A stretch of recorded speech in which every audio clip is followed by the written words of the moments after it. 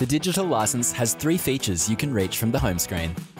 First, you can access each of the credentials you have loaded to the app.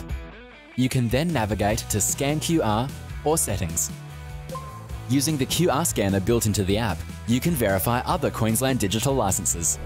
So, if you are in an accident and need to share your license details with the other driver, you can verify their license on the spot, then ask them to share a PDF copy with you. Tap the cog to access the settings functionality. In settings, you can change your PIN, securely reset the digital license app on your device, view the terms and conditions of your digital license, and go to TMR Online Services. You will notice on the bottom of the settings screen the version number of the app you have on your device. To change your PIN, select Change PIN from the Options menu. You will first need to enter your current PIN. Then enter your new PIN. Then confirm your new PIN by entering it again. A confirmation message will appear on your phone telling you that you have successfully changed your PIN. The Reset Device option allows you to securely remove your digital documents from the Digital License app.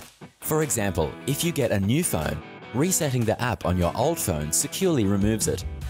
The Reset Device action cannot be undone, so once you have taken this action, you will need to use your digital identity, email and password to set up the app on this device or another device. You will be asked to confirm if you want to continue the reset. A message telling you the reset was successful will appear on your phone screen.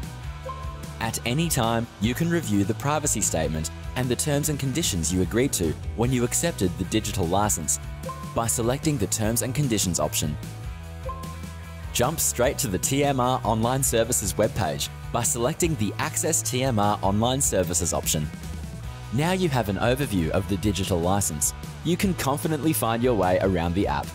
If you have any questions, call us on 132380 or visit a TMR customer service centre.